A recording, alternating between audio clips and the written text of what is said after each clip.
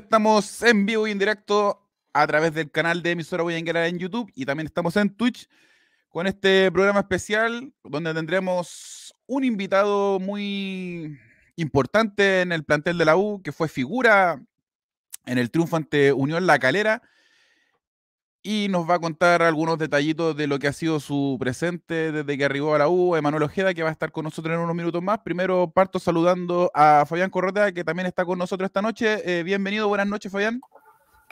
Muy buenas noches, Víctor. Buenas noches a Pauli y también a toda la gente que se va sumando. Sí, va, a ser un programa bien, bien especial hoy día. Eh, volvemos a tener a un jugador del primer equipo de Universidad de Chile, que mejor que con un refuerzo o el refuerzo que, que ya ha podido jugar durante eh, ya este segundo semestre, que es Manuel Ojeda, un volante que, ha mostrado su calidad, que ha mostrado también un protagonismo importante en los dos partidos de Copa Chile y que decir en el partido contra eh, Unión La Calera, ahí en Santa Laura el sábado pasado, donde mostró sus credenciales que, puede ser el dueño del mediocampo de U. Y, bueno, vamos a estar conversando un poquito sobre, sobre su carrera y lo que, lo que le para aquí en, en la U. También está con nosotros Paulina Cornejo, buenas noches, bienvenida, ¿qué tal? Buenas noches Fabián, buenas noches Víctor y a todos los hinchas que se están conectando. Un programa especial hoy día con entrevista con, el nuevo jugador de la U, Emanuel Ojeda, que ya lleva unos partidos jugando y es muy grato tenerlo el día de hoy, así que estamos esperando que se conecte para poder hablar un ratito con él.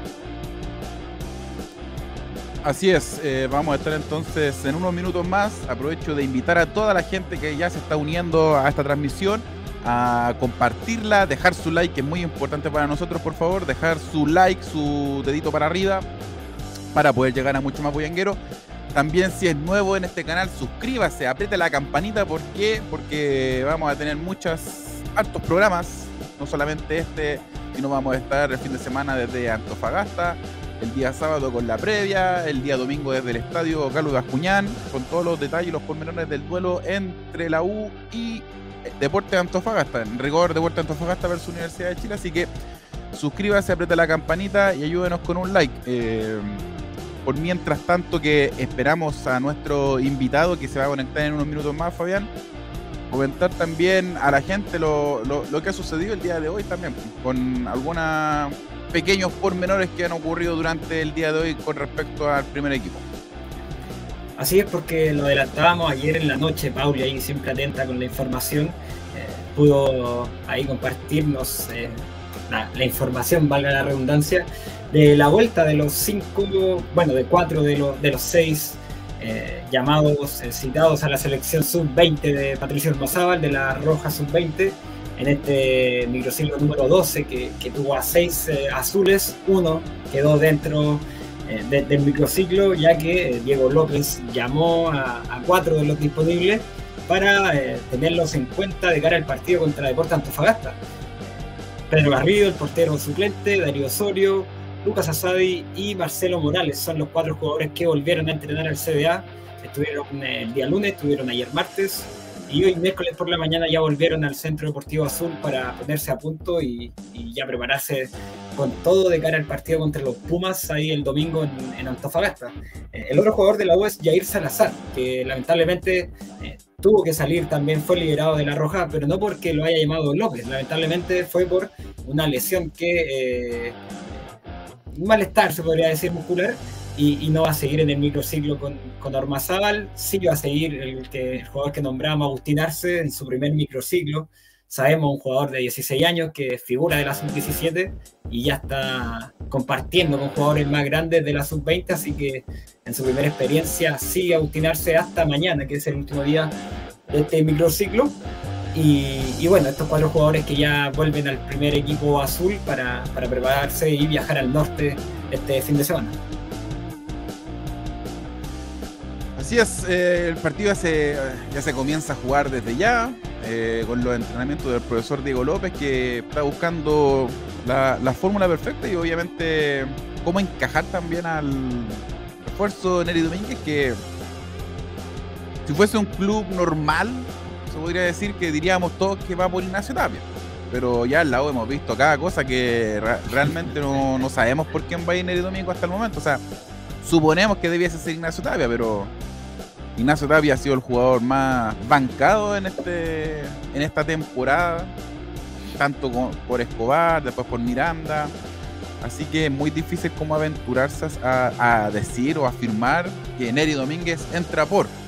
Hay que ver cómo se va desarrollando el tema. Faltan hartos días aún. Hoy día es miércoles. Faltan tres entrenamientos más. Así que no, no, no hay inconvenientes todavía para el profesor López, pero debiese ser Ignacio Tapia. ¿Qué, ¿Qué, creen ustedes?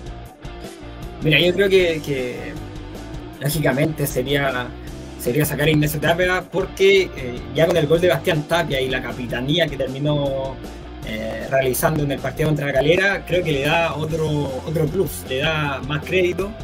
Y además que él mismo, el mismo entrenador dijo que lo quería ocupar como defensa central. Eh, sería muy ilógico no tanto viniendo de la U de que, de que Neri no, no vaya a titular el domingo sabiendo que está para jugar, que entrenó ya con el equipo lleva dos entrenamientos.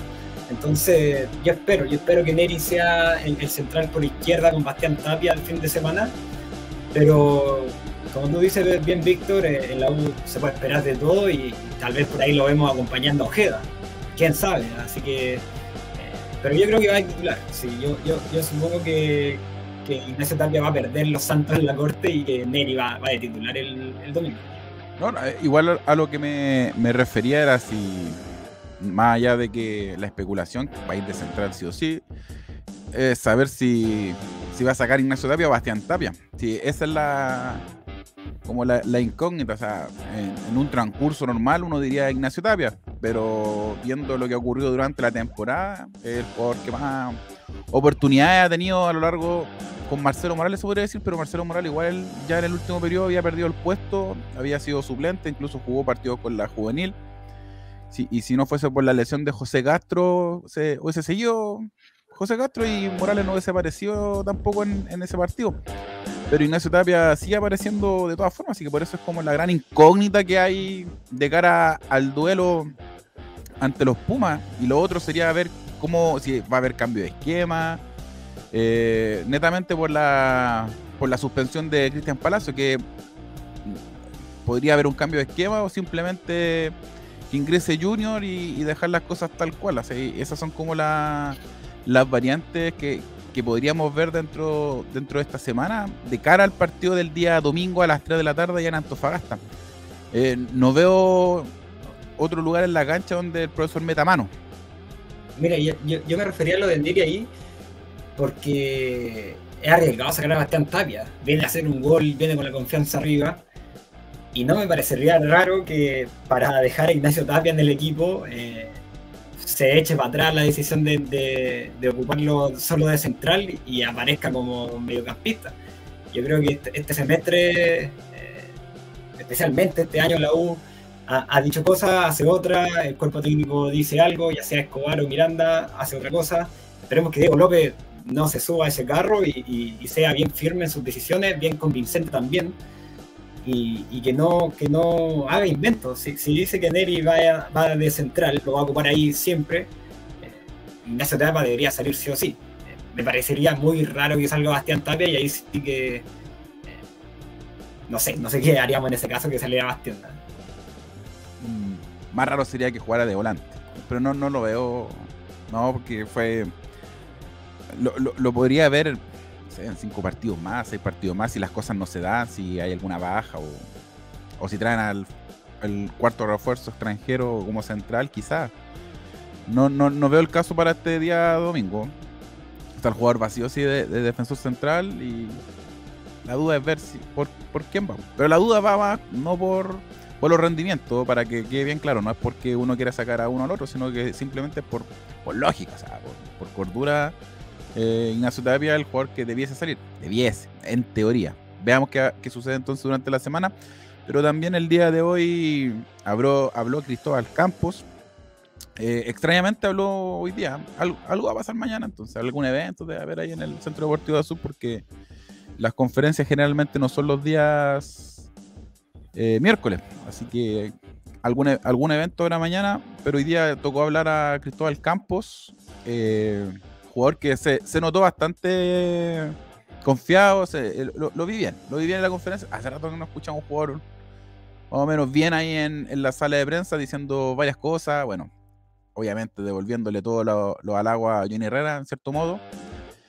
Eh, y con respecto al tema de Pedro Garrido, también me gustó la declaración. O sea, eso de que tienen que cuidar el puesto en el que está me, reconforta y veo que hay una buena relación entre él y el joven portero Pedro Garrido.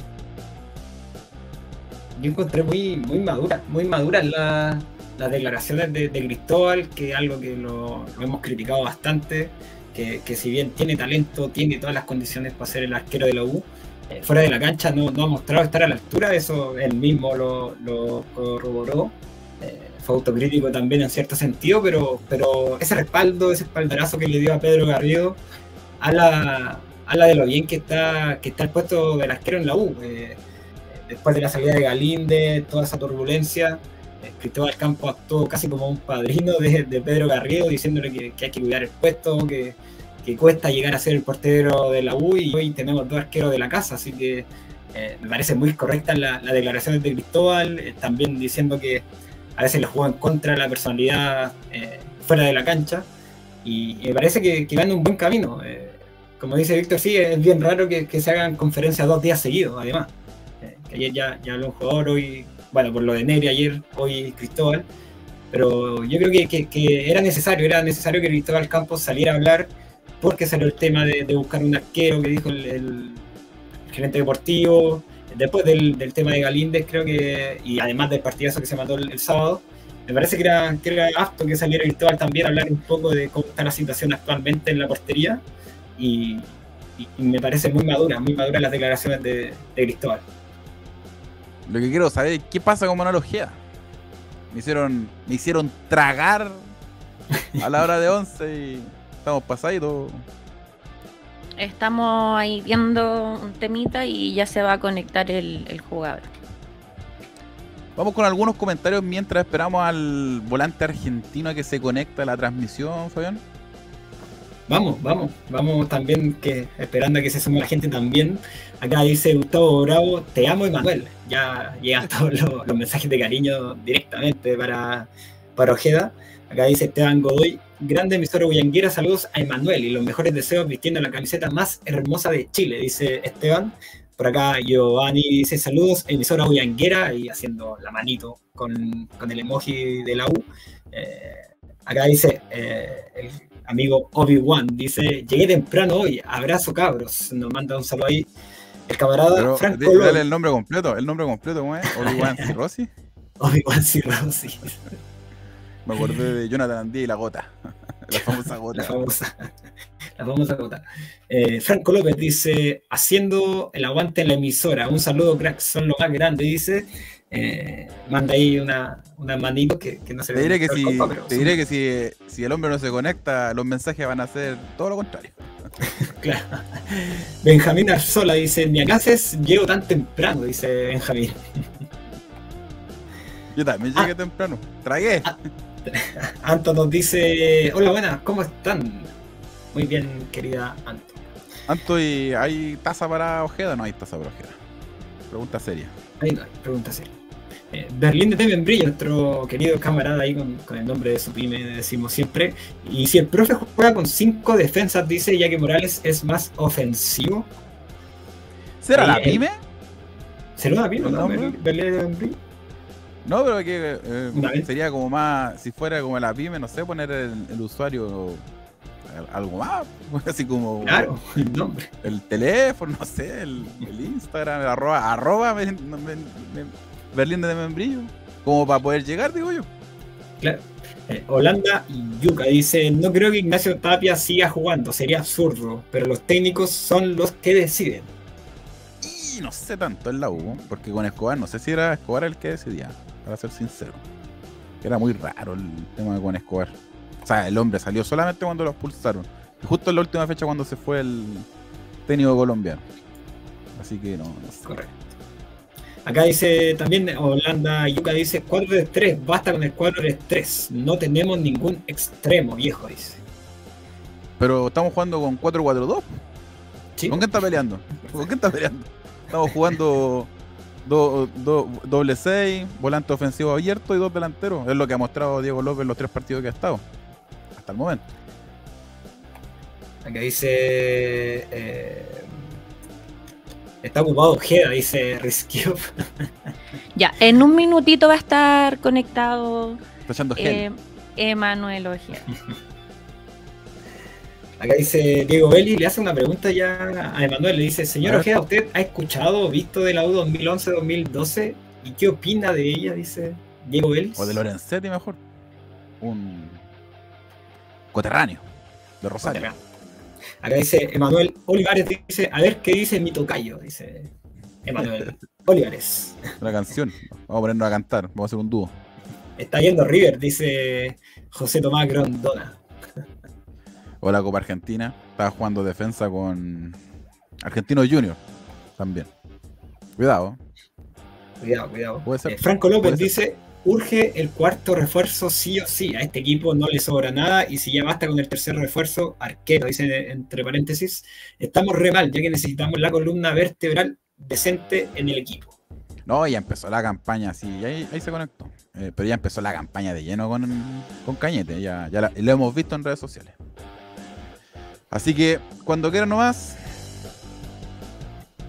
Perfecto. Eh, ya estamos en vivo y en directo con a ver. Yo no lo veo. ¿Ustedes lo ven? Ahí sí, ahí lo veo.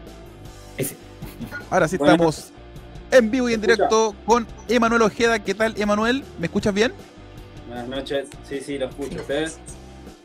Sí. Sí, sí, también. Te, escuchamos perfecto. Vamos a pedirle ahí a. Ahí sí, eso mismo le iba a pedir, que sacar la música de fondo. ¿Qué tal, Emanuel? ¿Todo bien por allá? Mucho frío, ¿no? Porque está heladito hoy día. ¿eh?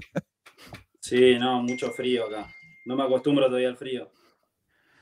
¿Pero eh, es más helado que, Rosario? ¿O anda por ahí igual? Es como un frío más, más seco. En Rosario hay mucha humedad. Ah, ahí está. Más encima, justo le tocó la etapa más fría y con lluvia. Hace rato que no llovía tanto en este país. Justo Justo hoy no te más lluvia un rato. Bueno, Manuel, eh, darte la bienvenida y primero que todo, muchas gracias por aceptar esta entrevista. Y comenzar más que todo por, tu presente, cómo, cómo evalúas tus primeros partidos con la U. Eh, y se te ha lavado bastante. O sea, eh, ¿te sorprende tan, tantos halagos? porque te lo pregunto por lo siguiente, porque eh, no estamos acostumbrados a tener un volante que profundice tanto el balón, que, abra tanto a las bandas y que juegue hacia adelante. Por eso el hincha de la U está en éxtasis con, contigo en cancha. Bueno, gracias. Gracias a ustedes por, el llamado. Eh, no, me vengo sintiendo bien, me vengo sintiendo muy cómodo. La verdad que el grupo me, me metió muy rápido a, lo que es el equipo, así que muy contento. Y nada, yo creo que la gente me, veía más como un 5 defensivo. Creo que estoy mostrando otras cosas que, también que no estaba mostrando tanto en central por, por, el estilo de juego, pero bueno, otra característica que también tengo. Y Emanuel, el, tema de, llegar a la U y esta, esta pregunta, eh, los jugadores cuando llegan a la U se sorprenden mucho. Eh, la instalación en el Centro Deportivo Azul, eh, a ti, en lo personal, ¿viste algo muy imponente o estás acostumbrado a estas instalaciones? Eh, no, muy, muy linda instalación, me sorprendió. Eh, bueno, en el club del que yo vengo también era muy parecido. pero bueno, hay dos, tres cositas que, me sorprendieron, la cantidad de, elementos para trabajar, eh, el, cuidado de las cosas, la verdad que me, sorprendió bastante. Y, algo que se ha hablado mucho en el último tiempo, Emanuel, el tema de la cancha Santa Laura, que, ha sido un tema. No, no, creas tú que acá estamos acostumbrados a tener ese tipo de canchas, pero eh, este último última semana ha estado en pésimas condiciones. Sí, sí, no, la cancha estaba muy mala, no, se podía jugar. Eh, bueno, ya lo he dicho anteriormente en otras notas que, nosotros entrenamos salir y jugando, la tenencia de la pelota y por ahí en una cancha así se complica y, la verdad que es una lástima jugar en una cancha así. Voy contigo, Fabián. Bueno, buenas noches, Manuel. Eh, muchas gracias por estar con nosotros. Eh, por acá, Fabián Corrotea. Eh, tocando también el punto que dijo Víctor anteriormente de la cancha, la jugada, hay una jugada en que la vuelta en ataque, a ti te queda la segunda pelota y te da un bote y tienes que cambiarla rápidamente para, Marcelo Morales, me parece. Y claro, ahí se nota que, no está para jugar a ras de suelo, sino que el bote y reaccionaste rápido para cambiarla de aire.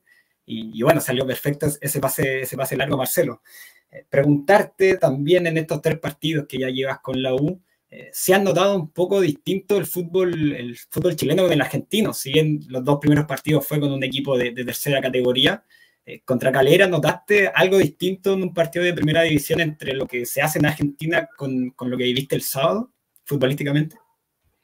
Eh, bueno, de la jugada que me contás, estaba complicado para jugar un toque, no, no se podía y, por ahí tenés que ver más, más lejos y bueno, cambiar de frente como, como contabas recién. Eh, y lo que vi, por ejemplo, en la Copa, la Copa Chile, que es muy parecida a la Copa Argentina, eh, los equipos eh, inferiores a uno, por así decirlo, son los partidos más complicados, se, complica mucho. En Argentina pasa totalmente lo mismo. y el primer partido del torneo por ahí sentí que pude jugar un poco más con libertad. Eh, por momentos no sentí que me presionaban tanto. Eh, obviamente por momentos sí, más cuando no, me echan un jugador. Eh, pero es lo único que, noté distinto con el fútbol argentino. Se pegó, parece Fabiano, ¿no? Sí, ahí está, hago ahí está. Va y viene. Va y viene. Bueno, yo voy a saludar a, a Emma. Hola Emma, al fin te podemos tener en emisora Boyanguera, un gusto tenerte acá con nosotros y el hincha está muy contento. Nunca se conectan tan temprano. Estaban ah, todos esperando. Estaba, leyendo algunos comentarios. Sí, estaban todos esperando que llegara Emanuel Ojeda, le dejamos bien claro, a las 21 justita y ahí estaban ya con nosotros. Bueno, un problemita ahí de comunicación. sí, menos mal que, que te hablé, o si no, todavía te, estamos, te, estamos esperando, pero bueno. Eh, mira, en base a, tu llegada a Universidad de Chile, eh, bueno, recuerdo que estuvimos en contacto en el mes de enero los dos, porque también sonaste en, en esa fecha en la U para llegar en, en el primer semestre y no se pudo dar. ¿Qué pasó ahora en este segundo semestre que se dio esta opción que pudieras llegar a la U? ¿Lo pensaste? ¿Dijiste al tiro que sí? ¿Cómo fue esa reacción para llegar en esta segunda temporada a Universidad de Chile? Eh, no, bueno, eh, al principio del año eh, a mí me interesó la propuesta, es más, yo hice todo lo posible por, venir al club. es un tema que, que me excede a mí, que es algo de, los dirigentes que no se pudo dar, eh, complicaciones. Eh, y nada, y ahora que volvió a sonar, no lo dudé, fui más, más al punto y, le metí con todo para, poder venir. Eh, mi deseo era estar acá, yo quería salir de, Central y, nada mejor que una, un, club tan grande como la U de Chile. Estamos en vivo en directo con Emanuel Ojeda y en esa misma línea, Emanuel, no sé, ahora, estos últimos días, cuando llegó Carlos Teve a Rosario Central, nos dijiste, uy, me, puedo haber dirigido ahí el Apache. ¿No, la, ¿No dudaste un poquito? No, no, ya está. Ya estoy acá, no, pienso en lo que podría haber pasado. Perfecto. Eh, em, Emanuel, y en ese sentido, en la Universidad de Chile, ¿cuáles son tus expectativas a corto y largo plazo, sabiendo que en el campeonato está, está complicada la cosa, hay que remontar a estos puntos, hay, que buscar un, funcionamiento también? ¿Cuáles son las expectativas que tienes tú en esta llegada a la U? Y bueno, a corto plazo, agarrar rápido la, idea del técnico, eh, formar un equipo sólido que, a los rivales le, cueste enfrentar a la U. y a largo plazo entrar, entrar a una Copa Internacional, que yo creo que, estamos para eso y, para mucho más. Dale, Fabi. Bueno, ahora sí, tuve un problemita de, conexión. Eh, Emanuel, preguntarte también, eh, el, sábado te vimos muy cómodo también, eh, con bastante espacio para jugar, para, para ir para adelante. y como tú bien decías, tal vez en Rosario Central, por el, por el estilo de juego que había, eh, teníamos de ti una impresión de, un volante más defensivo, pero ahora con espacio, eh, te vimos que eres perfectamente la primera salida y que puedes ir para adelante fácilmente, o sea, no te acomoda, o sea, no te incomoda jugar eh, a uno o dos toques hacia adelante. ¿Te parece que te, que te, va a acomodar mucho este, esta forma de jugar en Chile con más espacio, con equipos que tal vez no presionan tanto, como se dio el sábado? Sí, bueno, me, sentí muy cómodo, como te dije antes. encontré muchos espacios, eh, más allá del estado de la cancha, quizás con una cancha eh, eh, mejor, también mis compañeros puedan encontrar el mismo espacio que encontré yo. no sé, me sentí cómodo jugando con un doble 5, la verdad que Mauro corre todo el partido también y eso te da, te da una seguridad de que, de que puedes adelantar sabiendo que tenés a alguien que te respalda, así que nunca uno juega solo, siempre, siempre está bien acompañado. Bueno, y te vimos ahí eh, cuando, cuando la U atacó el segundo tiempo en el primer gol de, Darío. Eh, también estaba muy posicionada en ataque, casi en tres cuartos.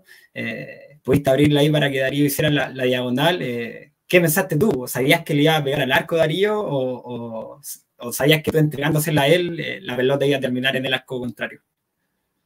No, bueno, cuando entra un jugador de las características de Darío, hay que dárselas todas a él, a ellos, a lo que entren que son los que saben.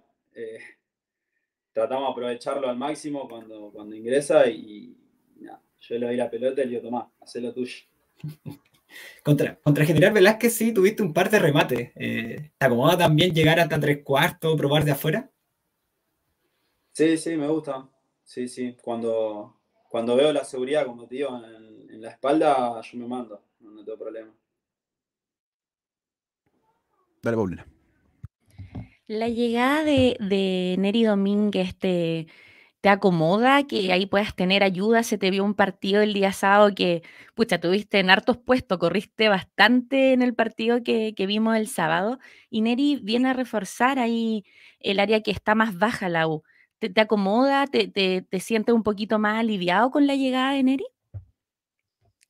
No, no sé si aliviado. Eh, bueno, antes que nada, Neri es eh, un amigo, lo conozco de, Rosario Central. Eh, no soy quien para hablar de, lo que hace falta en la U y lo que no. Eh, yo creo que, viene para sumar, para, para pelear un puesto, porque acá nadie tiene puesto asegurado. y el que le toque jugar, yo sé que, lo hace de la mejor manera y, que, trata de aportar lo mejor para, para el equipo. ¿Cómo fue? Perdón, Víctor, que tengo otra preguntita el recibimiento de, tus compañeros cuando, bueno, ya viste el del aeropuerto, que ahí estuvimos cuatro horas esperándote. Oh, sí, estuvimos con la gente acá cuatro horas en línea esperando que llegara Emanuel Ojeda en el aeropuerto. Pero, ¿cómo fue esa, esa llegada? El, ¿Cómo te recibieron tus compañeros? ¿Te, te, costado adaptarte al equipo, al ambiente que, que está, que es muy bueno el ambiente de la U en el Centro Deportivo Azul?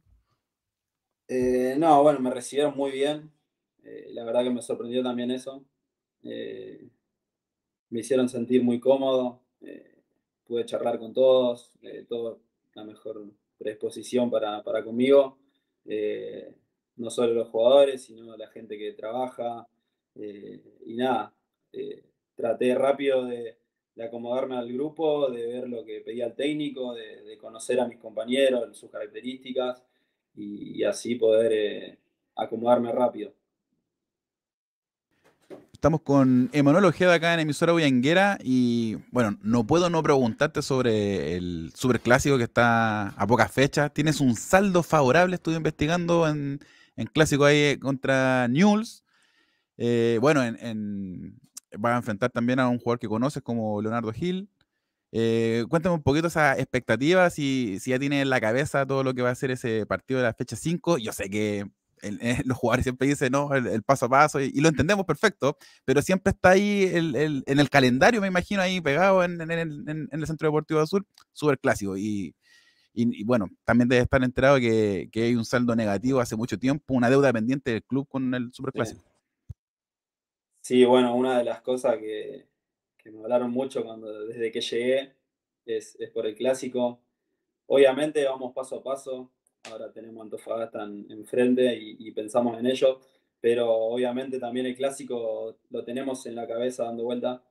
Eh, vi que tienen que hace, hace rato no, se gana el clásico, pero bueno, yo, yo vengo a aportar desde mi, desde mi lugar. Eh, puedo decir que, tuve la experiencia de ver un clásico eh, como, como, como, se vive acá. El clásico rosarino se vive se vive muy similar a, cómo se vive acá, entonces puedo decir que tengo esa experiencia de, jugarlo. Oye, y hay una anécdota también, Emanuel, que no puedo dejarla pasar. De hecho, se la comentaba a mis compañeros y a la gente que está conectada durante toda la semana, esa jugada con el Pulpo González. ¿Se acuerda? Contra Boca Junior, ahí en cancha de Vélez. Sí. Eh, tuvo, tuvo, bravo ese cruce, ¿eh? Sí. Sí, fue, creo que fue una fecha antes de que arranque el bar, así que fue como una despedida de, las piñas. creo que la última piña me la llevé yo. Sí, bueno, para, la gente que no saben, ahí el jugador de Boca le puso un combo, una, piña ahí en el, ojo, le dejó el ojo, pero totalmente morado. No, el ojo terrible. Después, si puedo, te voy a mostrar alguna foto. Sí, y bueno, y te, eh, te pidió disculpas. terminando el primer tiempo, y salgo al segundo tiempo, me, acuerdo que me había pinchado el ojo para sacarme sangre porque no, lo podía abrir. Hice todo para entrar al segundo tiempo, estaba, estaba ciego, quería la revancha y, nada, no veía nada. Duré cinco minutos y tuve que salir porque estaba, estaba arruinado. Vamos con la última ronda de preguntas, Fabi.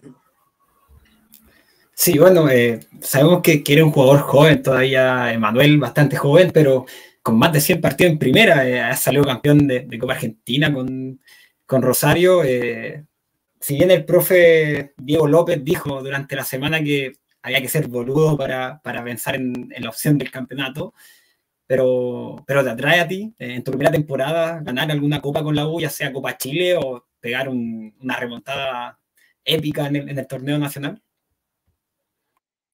Sí, seguro. Eh, un equipo grande apunta siempre a, campeonatos, a, tener buenas temporadas, a ingresar a copas. Y obviamente es algo que, todo jugador eh, quiere jugar, que quiere conseguir. Y, la verdad que sí, me, gustaría campeonar, eh, Copa Chile, torneo, entrar a copas, es un objetivo y obviamente siempre que, tengamos chances eh, lo vamos a buscar. Y, no, sé si me voy a adelantar a, mi compañero Víctor en esta pregunta. Eh, por el dorsal, sabemos que en la U los dorsales se, eligen en, verano, en la primera parte del año, pero en, Rosario te vimos jugando la, 25, ahora también la 5, me parece, en, el último semestre. Eh, algo especial el número 5, un número clásico, bueno, del medio campo argentino, pero ¿algo más tiene, tiene ese número para ti? No, eh, siempre de chiquito usé la 5. Eh, en todos los clubes que, jugué siempre eh, usé ese número y la verdad que es un número que me gusta mucho. también, bueno, identifica con, con, el puesto en Argentina, así que nada, es simplemente por eso. Emma, eh, ¿qué te ha parecido la, hinchada de Universidad de Chile? Lo has podido ver ya con un estadio prácticamente lleno, aunque el aforo ha sido reducido. ¿Qué te parece esta, esta hinchada? ¿Cómo lo has podido vivir? No, bueno, la veo muy similar a, la hinchada de Rosario Central. Eh, bueno, mucha gente el club. Eh, bueno, me han mostrado recibimiento, mis compañeros me han mostrado recibimiento, me han mostrado fotos de, las previas de los clásicos que, se llena de gente. Eh, y la verdad que es una hinchada muy, muy linda y hay que aprovecharla también. Siempre, siempre suma la hinchada. Una preguntita chiquitita que acá es un hincha. ¿Eres caballero? No, no, no, no tengo cabalas. Bien, Emma. Eh, ya para ir finalizando esta entrevista, eh, consultarte si en el medio campo te acomoda eh, jugar con el doble 5 o el doble 6, como se dice acá, o si te toca en algún momento jugar solo en el medio campo, maneja la, doble función. Bueno, en reserva también, cuando estaba allá en, Central, jugaste hasta defensor central ahí con el Kili González. Eh, manejas varias, varias alternativas dentro del equipo. Sí, eh, bueno, eh, estos partidos me, me, vine sintiendo muy cómodo jugando doble 5. Como te decía, encuentro seguridad para poder ir para adelante. Pero si en algún momento tengo que jugar de, de cinco solo, cinco tapón, no, tengo problema, también me, adapto, eh, sé la función que tengo que cumplir. Eh, y bueno, como decías, con el Kili González me tocó jugar de central en, la reserva y nada, fue más, más que nada para darle una mano a él. Y, en central, bueno, también te tocó con el Checho Caudet, ¿cierto? Eh, de técnico, dos personajes, o el Kili González, Checho Caudet, bien, bien divertidos los dos. Sí, sí. Bueno, con, el Chacho debuté. Él, él fue quien, quien me metió a la cancha. Eh, y compartí muy poco. Eh, fueron creo que seis meses nomás. Y con el Kili sí compartí un poco más. Eh, tuve otra relación. La verdad que tuve una muy buena relación con él.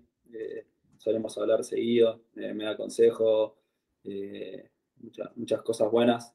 Eh, así que tengo otro tipo de relación con él. Acá, acá en los comentarios, muchachos, eh, le están pegando un poquito a, González por no, por no soltarlo antes, por no soltarlo en, el verano. Ah, Alemán. Sí. Eh, acá, acá se decía mucho que el Kili no te quería soltar por nada del mundo ahí en, enero, porque por eso costó tu llegada a comienzo de temporada. Y, Emma, ya la última, ¿algún jugador joven de la U que te haya sorprendido y que te haya dicho, uh, este pibe la, va a romper. No, bueno, hay, hay muchos. La verdad que vi un gran nivel de, la cantera. Eh, todos tienen algo que aportar. Todos, algunos tienen gambeta, otro físico, y todos tienen algo. Pero lo que encontré que, que tienen una gran cantera. Viene más. ¿No, se la juega con algún nombre? ¿Un, un asado de un Osorio ahí que, no, bueno, Osorio ya, sabemos lo que juegas ahí también, pero no, no, eh, en todos encontré, encontré un buen nivel. Bien, Emma. Bueno, agradecerte entonces tu tiempo. Eh, sabemos que, eres bien solicitado en la entrevista. ¿ah? Hay varias, que te piden ahí para hablar. No, soy mucho de, entrevista, ¿viste? No, no, soy muy dado, pero no, hay problema. Eh, la teníamos que hacer. Se la debía.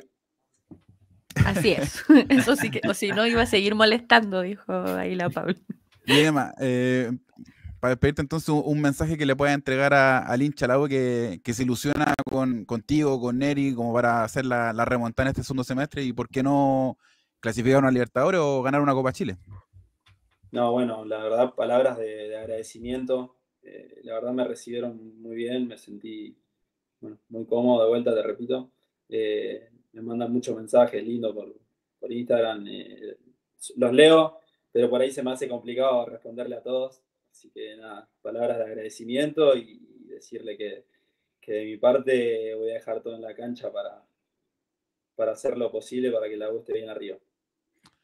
Bien, Emma. Muy agradecido entonces. Muy buenas noches. Abrigarse harto nomás que va a seguir, van a seguir la de la, así que. Mañana va a ser mucho frío, así que va a ser peor mañana te lo encargo, va a estar bien heladito. Así que. Terrible. Muchas gracias, Emma. No, no va a llover. No, va, a, va, a, seguir ahí.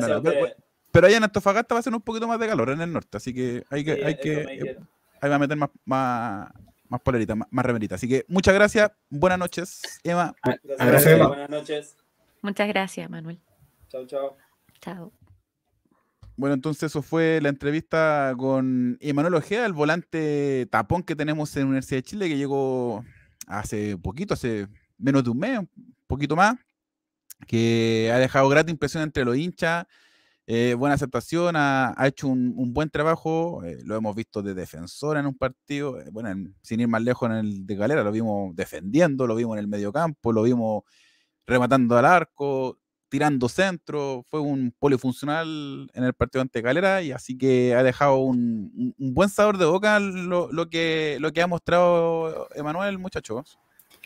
Sí, comparto, creo que, que del partido contra General Velázquez en Rancagua que mostró algo diferente, eh, le tocó en un partido muy, eh, ¿cómo decirlo? Eh, raro, raro porque jugaba con, un, con otro volante al lado que no venía jugando de hace bastante tiempo, que era Mauro Morales. Entonces era un jugador que debutaba en la U, más uno que hace dos años que no jugaba un partido, casi un año y medio, y, era complicado, era complicado, lo sacó adelante eh, en ese partido, salió por Brun, ya después en la vuelta también se mandó un, gran partido, y, con Calera creo que ya terminó de completar su, adaptación, que, acá en Chile se habla tanto que no, se tenía que acomodar, eh, jugó con frío, jugó con lluvia, eh, le ha tocado todos los, los escenarios posibles, la cancha mala, el norte tal vez, el domingo en el norte va a haber un poquito más de calor. entonces. buen dato ese, le ha tocado todos los, climas. Y ha demostrado, ya ha demostrado eh, jugar de muy buena manera, de muy buena forma el medio campo, adueñándose del puesto. Y, bueno, hay, gente que está preguntando también por, qué no le preguntamos por Mauro Morales. Eh, eh, va a poder ver la repetición de este programa. mucha gente también nos ve después de que hacemos las transmisiones, así que ahí puede ver todos los detalles que le preguntamos al comienzo a, a Emanuel, pero Claro. Habló de Morales. Sí, no, dijo que, corría harto Mauro, que le cubría bien la espalda. Igual es, bueno saberlo de primera persona, porque a veces uno desde la galería o desde el televisor, uno, uno ve otro tipo de cosas o espera otro tipo de cosas, pero a la vez, eh, y para ser bien honesto, e, es lo que uno cree y piensa, pero no ve los entrenamientos, uno no ve lo que el técnico le pide al jugador, no ve la planificación que hace el juego. Uno puede criticar a veces ciertas funciones del jugador, pero eh, no sabemos si eso es lo que le pidió el técnico. O sea, si lo sigue poniendo de titular es porque le cumplió el técnico y, está conforme. O sea, tenemos que hacer la autocrítica a todo en ese sentido y, ver el fútbol en tercera dimensión. que por ahí va el tema. Pero por eso es bueno hablar con los protagonistas. ¿ah? Sí, sí, y que, estén abiertos a responder también, porque personalmente he dicho que, a veces eh, se le nota incómodo desde, la tribuna eh, jugando con un, con un volante que, que, corre tanto como, como Mauro Morales, pero él dice que, que, le ayuda a su juego. Esto, esto de que me, Mauro corra tanto, eh, Emanuel nos dice que, que le acomoda también porque no tiene que hacer tanto desgaste.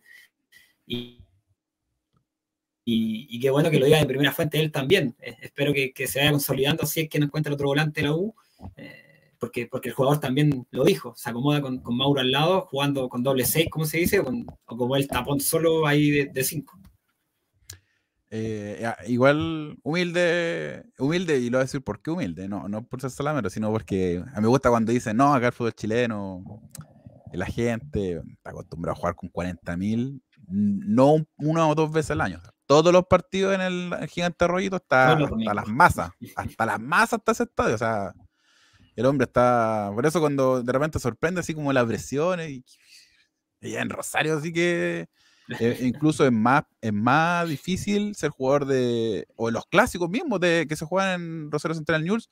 Ustedes, ustedes saben por qué es denominado de los clásicos más difíciles del mundo jugarlo. Ni siquiera ganar, no te hablo ni de resultados, sino de, disputar un, un clásico. ¿Ustedes saben por qué? No está denominado porque generalmente los jugadores que son de Newell's son hinchas de Newell's. Y los jugadores que son de Rosario Central, la mayoría son hinchas de Rosario Central. Por eso se torna un, partido bien trabado, bien friccionado, de, de harto meti ponga, más que fútbol incluso, en muchas ocasiones. Por eso es uno de los clásicos más difíciles al ser jugadores, sí, pues, al ser jugadores ya hinchas, fanáticos del club y defender el club. O sea, hay, hay 1500 anécdotas la que me acuerdo yo, no se la quise preguntar porque no sé si estaba, pero hay un, un Brian Sarmiento, jugador que era de Newell's, entró a la cancha de, Gigante de Arroyito. Eh, queda media hora para que empezara el partido, el clásico de Rosario. Y se metió a la cancha con lente de sol y empezó a recorrer toda todo el estadio. Todo el estadio mirando desafiante a la tribuna. No sé, me imagino yendo al Monumental y que, no sé, eh, Darío Osorio salga a la cancha, lente de sol, poner a la U y empieza a recorrer el estadio caminando solo, mirando la pura gente. Así como provocando. O sea, ese, es el, tipo de, clásico que se lleva allá que, que, bueno, es que es un país mucho más futbolizado que el nuestro, eh, hay que decirlo, pero no, no quiere decir que, que el hincha la U no, sea bien aficionado a su club. Yo creo que está a la par de, varios. Me encantaría que estos jugadores que están llegando ahora ya empiecen a jugar en el Estadio Nacional porque es muy distinto, esa misma. es muy, Una, muy, buena, muy buena anécdota esa, ¿eh? extraordinaria me encantaría poder que ya los jugadores empiecen a jugar en el Nacional, que el Santa Laura es lindo, es romántico, pero es chiquitito, o sea, chiquitito, eh, es romántico, pero el Nacional tiene otra, otro estilo, otra cosa, o sea, es más imponente, te genera, aparte que tiene toda la historia que tiene, metí 40.000 personas y una caldera el Nacional, pues más allá de que tenga la, pista atlética que, a veces genera ese espacio entre el, fútbol y, la gente, pero el estadio en sí es un estadio, o sea, es el estadio que tenemos.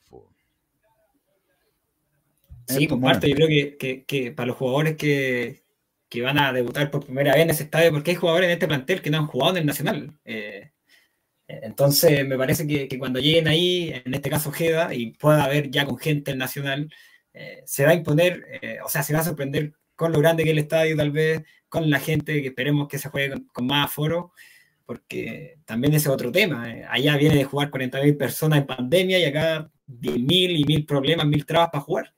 Pero, pero me parece que, que Ojeda ha, llegado muy bien a la U, se ha adaptado muy bien y, lo ha demostrado en cancha. Creo que, que, se muere un poco el mito con, con, eso de que se tiene que acoplar, darle un poco de, minutos eh, de a poco, porque ya se ve que es un jugador de calidad con tan solo 24 años. y me parece excelente lo que ha hecho hasta ahora. Vamos con algunos comentarios ya para ir cerrando este programa especial que, tuvimos el día de hoy con Emanuel. Quería, quería dar una información de las entraditas, ¿puedo? Antes de. Dame un segundito, dame un segundito. Esperemos que.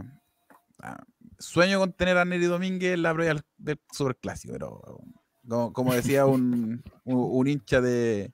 Vamos a trabajar para eso. Un hincha de Racing en la previa del clásico, porque ahora se viene el clásico de Avellaneda este fin de semana decía, o sea, pierdo 5-0 este partido, gano el clásico, yo así ya, eh, me dejo golear, no, no a la U, sino a nosotros, digo, ya, no molestamos a nadie, pero dame a Neri Domínguez el clásico, nada más. Dale nuevo con la información. Vamos a trabajar para, poder tener a Neri, desde ya.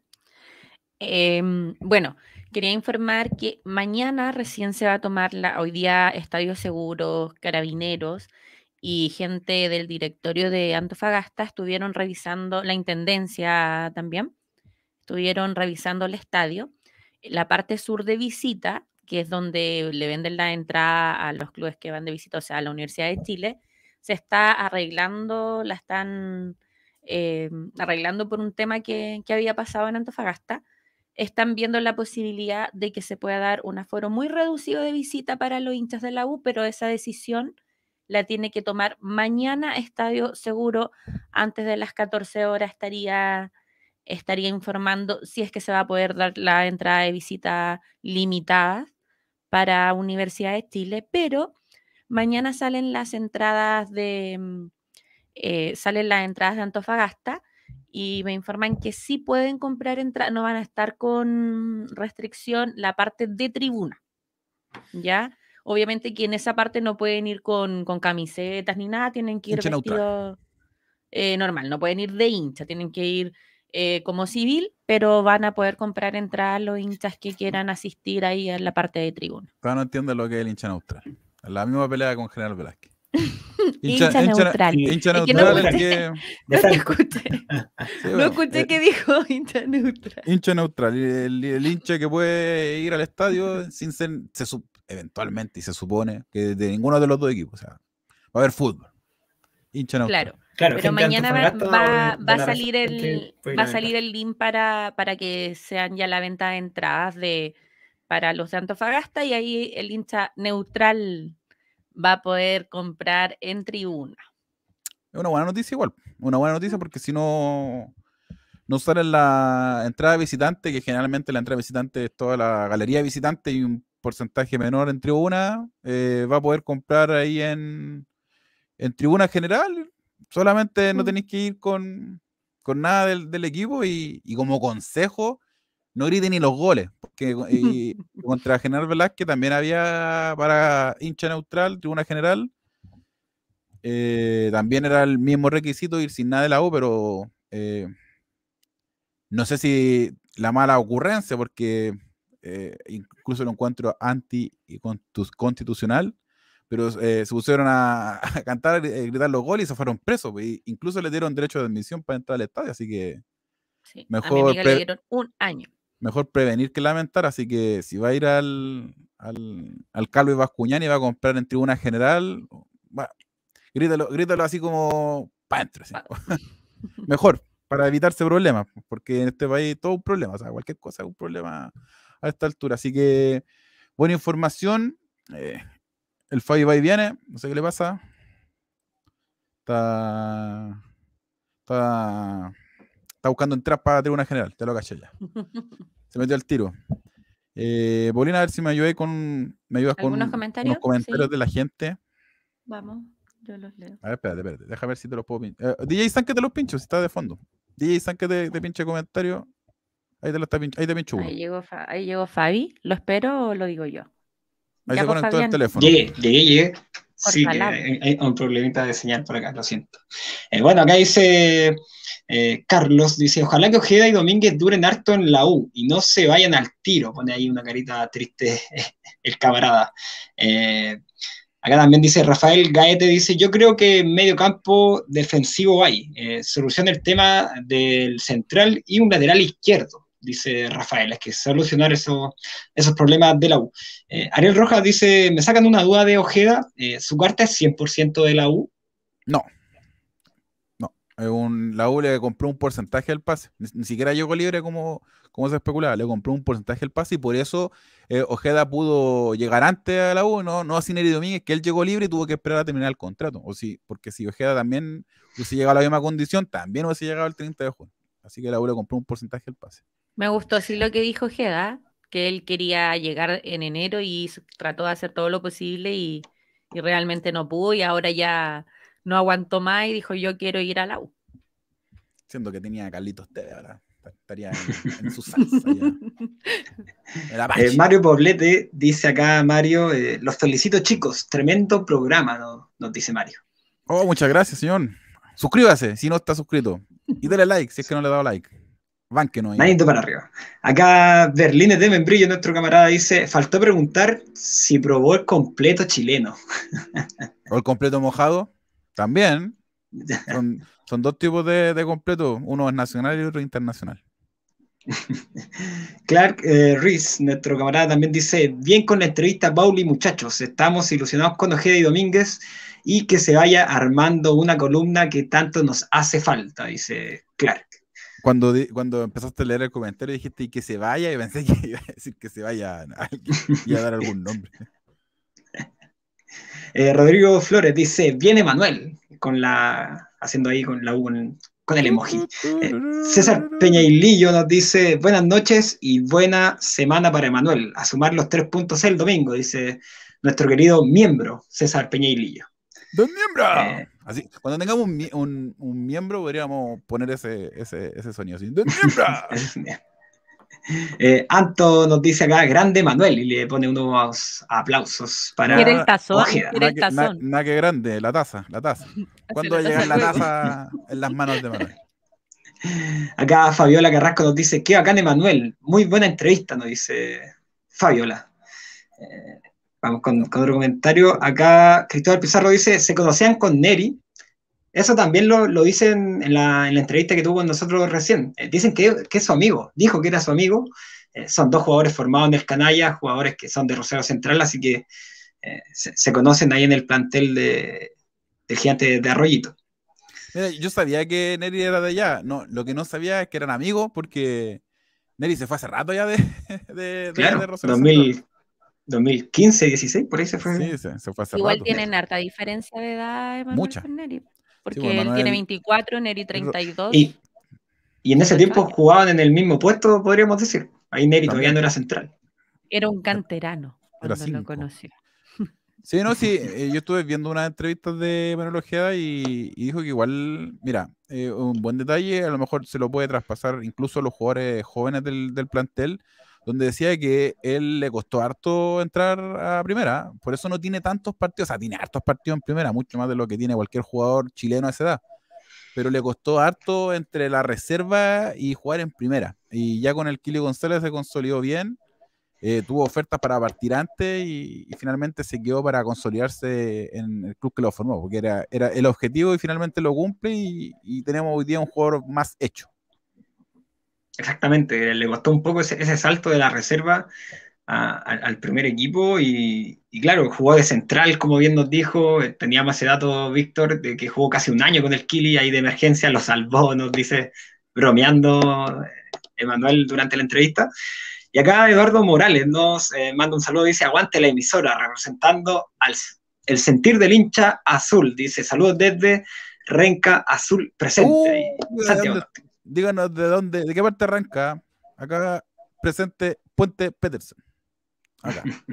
Navarrete de Renca. El vecino, Daniel Navarrete. Ahí contaba contaba Daniel, que también estuvo con nosotros, ahí la gente que, que, conoce el canal puede, puede ir a buscar esa entrevista en nuestro historial. Eh, acá Jaime Hidalgo dice, con Ojeda Domínguez y unos cuatro refuerzos de verdad, tendremos un buen 2023. Hace ah, el alcance. La arregló ahí al final. claro. Eh, vamos con, con, otro comentario acá de Manuel Olivares. Dice, habló muy poco el tocayo, dice Manuel Olivares. Uy, es con restricción la entrevista, no, no lo podíamos tener más, si no ya nos castigan. Así que mejor hay que, hay que respetar las reglas. Las reglas del juego, como se dice ahí. Que respetar las reglas del juego. Sí, Eric Quesada. Espérate, espérate, espérate. Y antes también a, igual a, darle los agradecimientos a Prensa de la U por, por la por el jugador, pues si finalmente todo pasa por, por el área de prensa U para poder, poder, llegar a, a Manuel Ojea. Así que el agradecimiento correspondiente. Acá dice Eric Quesada, eh, Campos, Navarrete, Domínguez, Tapia, que ponga ahí que Tapia, que Tapia pone en el 11, y Castro, pensando en el domingo. Eh, Morales, Ojeda, Poblete, Osorio, Junior y Ronnie. Es que no sé, pues yo pondría a Bastián, pero el camarada ahí no lo puedo. Depende, pues, si, está por derecha, si está al lado de Navarrete, pone, a, pone a Domínguez por derecha y a Tapia por izquierda. Ah, pero Bastián, Bastián jugó de central izquierdo con, con Carrasco en el primer partido de la U contra Calera. Y dijo que, dijo que él la acomodaba cualquiera, cualquiera de los dos lados, recuerdo yo. No voy a tener jugar. Cristóbal Pizarro dice, tres fechas para Chorri está bien para ustedes. Y otro camarada le responde, si se pueden, seis fechas más. la gente interactuando ahí. no, hay que, hablando en serio, el tema Chorri preocupa mucho preocupa mucho porque es tu carta gol, el, el, único fichaje que podría rescatar de todo este descalabro del verano, el único que podría salvar la plata sería el Chorrigo, a esta altura, si, si, es que se pone las pilas, se enfoca y hace lo que tiene que hacer. Pero Diego López tiene harta pega ahí también, o sea, tiene que... El técnico tiene que desenvolverse con el material que tiene. Si esa es la idea de traer un técnico de su categoría. Si finalmente Diego López no es un técnico cualquiera, trajiste un técnico del calcio italiano, te gusta o no te gusta, trajiste un técnico del calcio italiano, trajiste un técnico de Europa, y el hombre tiene que elevar los niveles, los niveles individuales. Así fue como San Paoli se consagró en la U, porque no es que a San Paoli le armaron un equipazo extraordinario, o sea, en la previa de esa gran temporada eran jugadores normales, normalitos, yo no sé quién sobresalía en cuanto a nombre, a lo más, no sé, a ver, estaba Herrera, que era ídolo de la U, pero había, le ha ido mal en Brasil y había tenido Everton, o sea, un, arquero de, del medio local. Eh, Pepe Rojas, para qué decir, cuestionado hasta cuando le entregaron la jineta. Marco González, que venía como descartado de Católica. Eh, estaba Albert, que era como el comodín, así. mira, para mí Albert Acevedo ha sido de los pocos jugadores que me ha tapado la boca. Porque en la previa yo dije, oh, ¿a qué viene a ver a la U? Ah, no me, no me tinca. Y el hombre eh, respondió. Ha sido de los pocos que, he dicho. Y era reconocido que no le tenía nada de fe y, y, supo dar vuelta a la historia. Y en el medio campo, para qué decir, Arangui venía descartado de, de Quilmes, pues ni siquiera de un equipo grande en Argentina, de Quilmes venía. Eh, Marcelo Díaz, que todos sabemos su historia, Mena, que era un proyecto, Eduardo Vargas, que también era un proyecto, Canales, que fue como el fichaje de la temporada, que costó como un millón y algo, y Castro no era ni proyecto, o sea, era como un. Era más a largo plazo todavía que que tuvo hasta un lío con Cobreloa cuando llegó, se autodespidió, llegó a la U, le costó debutar, debutó y, se consagró. Y fue la, única consagración. O sea, ahí te das cuenta de la mano del técnico. ese es lo que uno aspira cuando llega un técnico como Diego López, que, que le dé identidad al funcionamiento, al equipo y que eleve los niveles individuales. Sí, porque si fuese por pedir y pedir y cualquiera podría ser entrenador y tráiganme un equipo nuevo. Así es, acá nos dice Manuel Hernández, eh, los felicito muchachos, muy buena entrevista desde Santa Cruz y me gustó su humildad, que sea grande en cancha, habla bien. Eso, dice Manuel Hernández. Por acá nos dice Jaime Hidalgo también, que está activo comentando en nuestro programa. Eh, ahora falta Domínguez. Eh, gracias, uh. ustedes son de primera, nos dice Querido Jaime. Me, emociona eso de tener a Me emociona. Oye, Y, y Emanuel dijo algo que me, bueno, hemos hablado bastante por interno con él, pero me, sorprendió que dijera que no le gusta hablar mucho, porque en realidad los argentinos son re buenos para hablar. Él habla muy bien, sí. Hay que decir que se sabe expresar y, sabe muy bien lo, que tiene que decir, no, no le tirita ahí como se en, en, comparación a, un chileno, puta, habla más kilómetros de diferencia. Ahora, a diferencia de con otro argentino, se nota que no le gusta porque igual era de respuesta precisa. No como, no sé, Montillo que se explayaba. Es que era mucho más viejo, la, la que se explayaba harto y en general, pero bueno, eh, lo importante es que tiene la personalidad, o sea, no le gusta, pero lo hace igual. Sabe de qué se trata esto. O sea, esto es, es parte del show, tener que hablar, mostrarse. Oye, si Bastián Tapia entiende también esto. Bastián Tapia también es de hablar. Eh, mira, no, sé si le gusta, pero lo entiende. Entiende que tiene que hacerlo y lo hace. Y, eso ya le da, le sobresale con, el resto de, los canteranos que hablan poco. Ya, ya por eso le entregaba la jineta, porque eh, eso te demuestra un grado de personalidad. Tiene cercanía con, el hincha, eh, si tú lo paras para una entrevista te responde, eh, tiene eso que, le falta a los jóvenes y, no solo a los jóvenes, sino que al jugador chileno le falta demasiado poder. Campo poder hablar.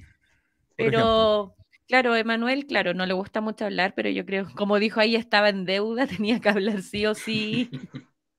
o si no, íbamos a seguir Por ejemplo, hoy día Campo a mí me gustó cómo, estuvo hoy día en conferencia. O sea, anduvo bien, buena respuesta, se expresó bien y, entendimos todo y nos quedamos claritos.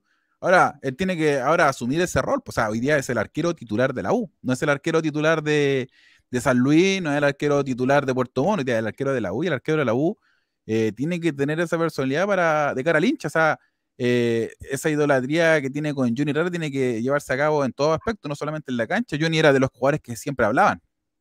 Eh, perdiera, ganara, Johnny siempre daba la cara y, eso se valora. Se valora los líderes. Ahí te demuestra cuáles son los líderes y quiénes, quién no son los líderes. sin ir más lejos, hoy he dicho como cuatro veces eso. Eh, el caso más emblemático a Luis Felipe Gallego, o sea, le entregaban la jineta, la presentación, no lo escuchamos nunca más en la vida. ¿Qué te quiere decir eso? Que un líder, difícil, porque los líderes se demuestran en las malas, en las malas cuando tienen que salir a hablar, y no, no, es hablar a, los micrófonos, porque los micrófonos son un medio para la gente, que es la única forma de, enterarse y saber el sentir del plantel y de los jugadores, que, que tanto quiere el hincha, o sea, el hincha que lo único que quiere saber es qué pasa con sus jugadores. Sí, mira, acá la gente ya, ya empieza a hablar también del, mercado de fichaje y, algunos insiste con Marcelo Díaz, teniendo ya Ojeda, algunos le dan con, el Chelo Díaz. Yo creo que actualmente no es la posición de jugador que, necesita la U. Y realmente creo que ya no lo van a traer. O sea, la gente ya que lo, tienen como un ídolo, eh, es hincha de la U Marcelo, pero creo que no lo van a traer, ni hoy día, ni mañana, ni pasado no, no está en los planes y no va a estar en los planes de la U. Ya no estuvo cuando tuvieron la oportunidad, menos lo va a estar ahora. No, y la, zona ya está sobrepoblada. Hay, hay otra. A menos que juegue lateral izquierdo, que lo dudo. bueno, acá dice Fabiola que eh, ya le cae mal el Chorri, dice, yo esperaba mucho de él. Y hay otro camarada que le responde eh, que eh, se cayó con, el clásico. Con eso fue, fue como el detonante para que Chorri perdiera confianza, le dice un camarada en otro comentario. Mira, respecto a lo de Chelo Díaz, Cami nos dice, aguante el Chelo Díaz, sí, totalmente, o sea, es un ídolo del club, es un referente, pero, pero no se dieron los tiempos, el jugador cuando estaba apto no, no se ofreció tampoco, así que eh, creo que lo del Chelo dentro de la cancha no lo veo en el club, sinceramente. Eh, mira, yo, yo no lo descartaría tan de plano, personal, una opinión muy personal, en cuanto a, tomar ese rol que no, no ha podido desarrollar de buena forma Felipe Seymour, que siempre fui un, contra de que Felipe Seymour tomara ese rol como la cara visible de la U. Para mí era antes Marcelo Díaz, Matías Rodríguez, hasta José Roja, pero no Felipe Seymour. Eh, mira, si en enero, cuando ya se abre más el mercado y podéis traer muchos más jugadores y se necesita un jugador que represente al club, puta, yo no lo descartaría Marcelo Díaz. Ahora, Sí, no, no soy tan salamero ni lamebota como para hacer con esa idolatría desmedida con Marcelo Díaz y, yo tengo mi crítica en particular con Marcelo Díaz, que él tenía que haber llegado o haberse ofrecido no ahora ni el año pasado, sino hace dos o tres años atrás, cuando estaba en, plenitud. El 2018, 2000, a lo más el 2019, cuando la U estaba mal en la tabla, a lo más haber dicho ya vengo a dar una mano, en plenitud, no cuando ya eh, estáis sin jugar, las lesiones también te agobian, ya, ya eso es como, no me queda otra, más que convicciones como es lo que hay. Sí, comparto, comparto que hay, hay, una, no sé si culpa, pero una responsabilidad, responsabilidad eh, dual entre el club y el jugador también, que es muy importante su decisión, su ganas de venir. Eh, escuchamos Jeda que, El 2019 la igual lo buscó, si eh, Polaco y Superman igual lo sondearon, pero pero eh, eh, me refiero a que él no quiso, finalmente. porque estaba, estaba en un buen nivel en Racing, no me saquen de acá, me estoy transformando en ídolo, el, clásico en Independiente, entonces faltó, faltó también eh, una química entre el jugador y la dirigencia. Pero... Y un mea culpa también, pues, o sea, no solamente, no solo decir que el club no me quería, porque cuando el club te quiso, tú no quisiste, o sea, hay que ser realista, o sea, no tirar palos porque sí. Entiendo que somos bien críticos con la dirigencia, pero la, realidad es la que vale. O sea. Acá el camarada X Vitra te dice, no se puede caer en el clásico, Chorri, si es uruguayo, la concha de su madre, dice. ¿Por qué no entendí el mensaje? Eh, no, lo de Chorri, que, perdió la confianza en el clásico, entonces, ah, eh, ¿cómo al ser uruguayo no se puede caer en confianza en un clásico, dice, si, si es uruguayo? Igual, igual es especulación lo que hacemos. O sea, de ahí, de ahí, mira, para mí Chorri el único partido que rendió fue con Calera, para ser sincero. Para Antofagasta no lo vi. Contra Ñublense se fueron los penales. Y contra O'Higgins tampoco lo vi. Así que es como una referencia al clásico, pero para mí la fecha 1, y ahí se murió Chorri Palacio. Sea, fecha 1, los actriz y chao. Correcto, correcto. Después, eh, si bien son ocho goles, eh, casi la mitad o la mitad son, son de penal. Y, bueno, se ha visto tan activo como sí con Unión Española, un delantero que, ha tenido lesiones con la U, lamentablemente, eh, lesiones que no dependen de él, sino que son parte del juego, una herida que, no se sanó. Y, bueno, esperemos que, repunte, porque la U ya tiene un déficit de goles con Ronnie, que, que no está derecho en el arco, con Chorri, que decir, Junior, que es la tercera opción, y Yelopel eh, lo, saca de la titularidad cuando venía marcando en dos partidos seguidos. Eh, nos parece raro, ojalá el domingo eh, Junior, la que tenga, si es que es titular primero, pueda convertir y, pueda ser determinante en esa jugada. Sabemos que no, que no es un jugador que se está que no está haciendo un gran despliegue, que, no presiona tanto, pero, bueno, viene con, la fecha para arriba, como se dice en el play, en, los juegos del play, y, ojalá tenga algún balón bueno en ataque y pueda convertir algún, algún gol para la U el domingo, porque ya lo venía marcando en Copa Chile en los dos partidos contra General Velázquez. Así es, y tampoco te puedes olvidar para el domingo apostar por la U en KTO, muy importante para poder Tremendo, ganar, tremendo para ganar Luquita. Hoy día estaba, estaba, estaba tirado el chancho, como se dice, para apostar en Cateo en Copa Libertadores, a la segura con Palmeira, que dio, dio la talla ampliamente hoy día. Así que A, a la segura con Palmeira y Flamengo. Flamengo va 6-1 a Tolima. con Ureña, Aparte, chicos, con KTO pueden ganar mucho más con la ayuda de emisora Bullanguera. ¿Saben cómo? ¿cómo? Muy fácil, ingresa el código emisora en cateo.com y obtendrás hasta un 10% adicio- adicional en tu primer juego. O sea, si apuestas 20 mil pesos, te daremos 4 mil pesos adicionales para que puedas seguir jugando y ganando, porque con cateo.com y emisora bullanguera ganas. Y también. Excelente, excelente. A ver, dame un segundo. Rellena un poquito, rellena un poquito. Mira, si, si le hubiésemos gustado más de 5 goles a Flamengo, era asegurado. Ahora 7-1. Así que para la próxima, no lo dude, que con KTO gana de verdad. Ahí está el QR, tiene que meter el, el código emisora ahí en mayúscula para tener este 20% beneficio. extra en su depósito. Así que nada, juegue y gana de verdad con KTO.com. Lo que, lo que más Y me aparte gusta de de eso- KTO, lo que más Ah, me gusta es la primera, porque si ingresas el código y es tu primera apuesta con KTO, es libre de riesgo, Paulina. ¿Cierto? Así es, es ¿me escuchan? Creí Sí. que había puesto.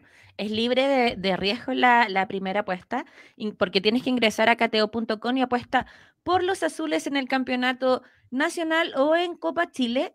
Si no, has hecho, si no lo has hecho todavía, suscríbete y puedes tener ahí la apuesta libre de riesgo. O sea, te devuelven hasta 25 mil pesos, te puede devolver KTO en tu, en tu primer depósito ahí, que tú, tú juegues por la, Si, por la si es U que al cual- Tolima, te devuelve la- por el equipo en realidad. Y decirle al hincha que no solo puede apostar por Universidad de Chile, también hay tenis, hay distintas disciplinas deportivas para que puedan apostar ahí todos los que le, enca- le encanta apostar ahí en, este, en este casino virtual que, que es cateo.com. Puede ganar muchas luquitas y el que sabe, Juan Sandoval ahí, nuestro controlador el día de hoy, es seco para la apuesta. Fabi igual, que se hace ahí un poquito... Sí, no, no, nos tiramos las cartillas por interno con, con Sandro. Hoy día, hoy día KTO me devolvió plata porque la aposté a Garín. Me datearon mal, No, no, mal dateado. mal dato ahí. Pero Oye, no, había, había un boyanguero en la, en las tribunas de Wimbledon. Por ahí vi una foto. Sí, no, eh, acuérdate que Garín es. La mufa. Acuérdate que Garín es. Es indio, ya. Blanco. Pero. ay, ¿cómo? ¿Y el tenista ese que, que subió con, a sus redes sociales con la bolera de la U? ¿Cómo se llama? Em, ¿Qué será ese Sebastián? Corda. Sebastián Corda. Ese ¿Qué no es ese hijo de, del Corda. Que había un tenista Corda, que, que la que- el que jugó la final con Marcelo Ríos, de Australia. Peter Corda, ¿no era, no? ¿Será el Cre- hijo? Me parece, me parece que el hijo de Marcelo Río. De Marcelo Ríos, no, pues, de Corda. O sea, de, de perdón. No le estés no estés cargando, ya Uy, tiene como uy, 10 que ya, tiene como 10 hijos, le estoy cargando otro. Pero ese lo- lo- lo- lo- eh, esa final quedó demostrado que fue con doping. Esa final de Australia creo que fue con Marcelo Ríos, que finalmente al tiempo después se demostró que estaba pichicateado el hombre. Pero igual se quedó con el Gran Slam. Pero Sí, lo hijo que no te puede faltar. ¿Eh, hijo? Sí, Sebastián es hijo de Peter. Yo soy más del tenis más antiguo. O sea, para mí el tenis murió cuando se retiró Fernandito. Ahí murió el tenis para mí. Lamentablemente. Fernandito que también hizo cuartos de Wimbledon y perdió con Federer. No con un australiano loco, perdió con Federer, Chaya. no con un chaya. pero también es indio. Fernandito. Claro. Eh, vamos con Restaurante el 7 porque este día domingo para la gente que no va a poder viajar, que está, está medio, medio carósil hoy día el, el pasaje en avión, pero va a poder ir al Restaurante el 7 en vez de gastar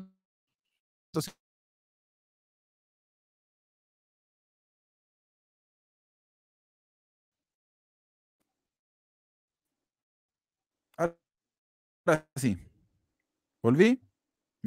Ahora, ¿se, se me había pegado? Sí, ahora sí. Ahora sí. No, yo, yo parece que me pegué. Ah, ya, ahora sí, yo me escucho bien. Así es para todo el hincha que no, no pueda ir al estadio no, o, eh, no pueda ir, estar en Antofagasta, puede estar en Restaurante El 7 ubicado en Gladys Marín 7002 en la comuna de Estación Central. puede ir a disfrutar el partido en pantalla gigante, chicos, en pantalla gigante en Restaurante El 7.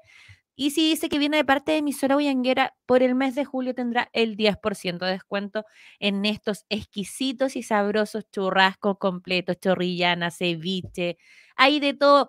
Las mejores cheladas, micheladas, piñas coladas, daiquiri ya medio set, ahí dicen.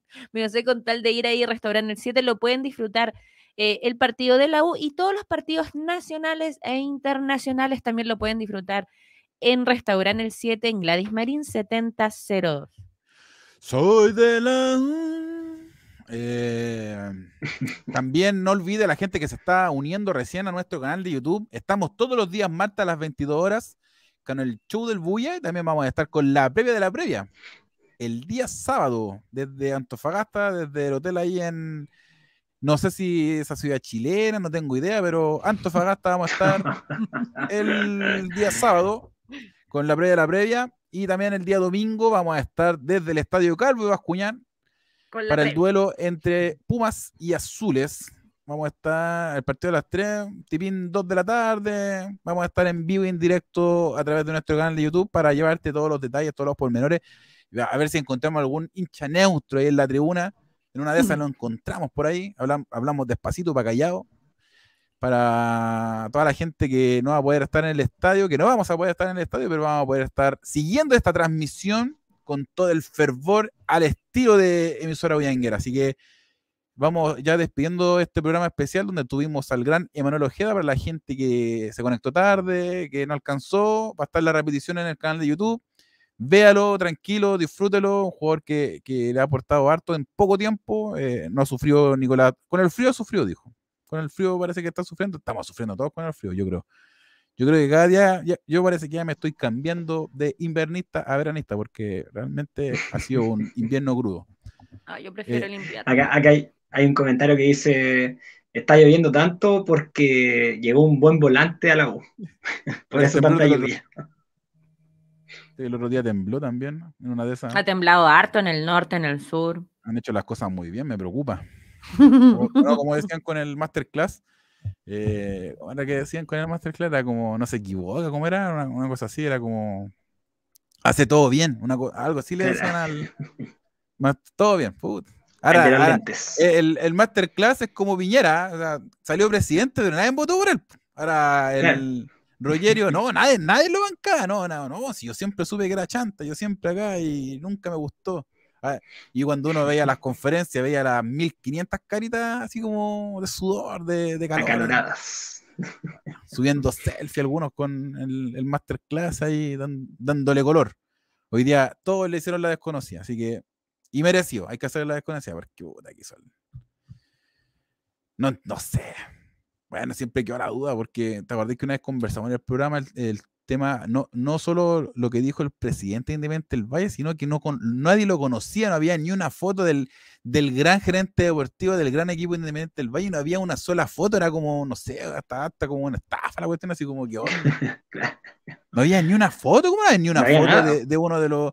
Nadie lo conocía, así como quién es. Ninguna referencia, solo, solo el presidente de esa entrevista. el único que lo conocía. El único que lo conocía. Como que nos trajeron al utilero, parece, así como el utilero, ya, vaya, vaya. Y fue como. Y lo que dijo el presidente, que no se refería al fútbol, sino que solo a los números, más encima, la única entrevista que, hay, que había. Porque hizo, hizo, un curso ahí en el mismo club, eh, de, de contador, así, de finanzas. En fin, ya muchachos, hasta acá dejamos este programa el día de hoy, especial. Eh, siga conectado a nuestra página web todos los días con la mejor información del romántico viajero en emisoravianguera.cl. Suscríbase al canal. Recuerde que a los 1500 suscriptores vamos a sortear el short de Gustavo Javier Canales Bustos, el hombre General Roca que salió campeón con la U el 2011, el 2014, y, pero el short es del 2014, con la, con, línea ¿eh? y con las casitas. Y también a los 2000 suscriptores, parece que no quieren la camiseta de, la uh. leyenda, del, candado azul, del samurái, del, del, del padrino de, Campito. Ahí tenemos la camiseta para los 2.000 suscriptores. La camiseta utilizada, esta fue, no, no es estampada ni comprada, no, no, no, no es del persa, no, esta la utilizó Johnny Cristian Herrera Muñoz, el hombre de Angol, la utilizó en 2018. Así que mucho cuidado, 2.000 suscriptores, o si no, yo creo que si, si, pasa, si pasa un poquito más, me la voy a dejar para mí, la voy a vender. Así que lo dejamos hasta acá, Fabián. Gracias a toda la gente que estuvo conectada con nosotros, que participó, que le dio el like, que se suscribió. Y no se olvide, siga con nosotros. Nos vemos el día viernes, el, no, el día sábado nos vemos, el día domingo y todos los días a través de nuestras redes sociales. Muchas gracias, arriba la U. Abrazo muchachos, vamos la U. Abrazo Víctor.